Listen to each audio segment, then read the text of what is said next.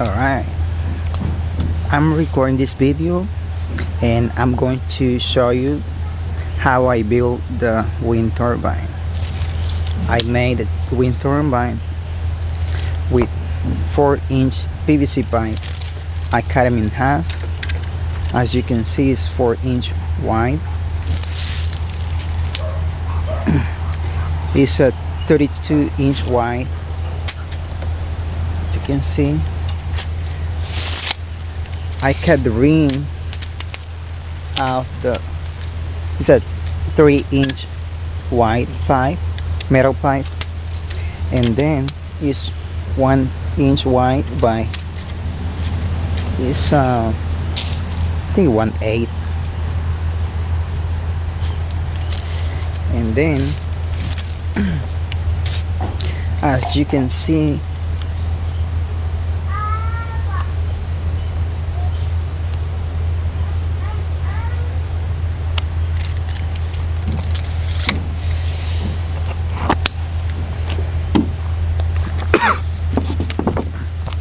what I did that I weld those bolts with the wire welding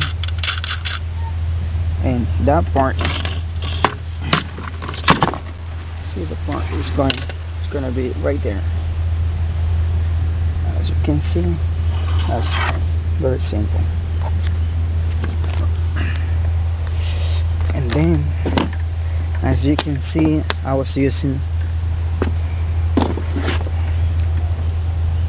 those bolts. They are one fourth by three quarter inch long.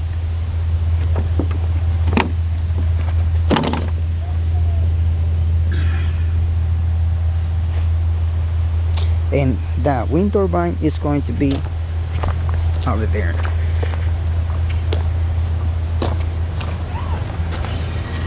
see it's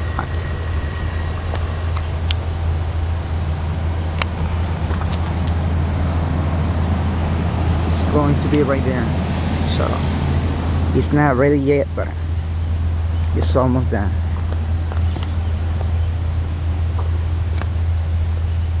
So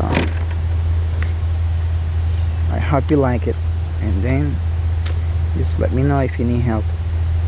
Alright see you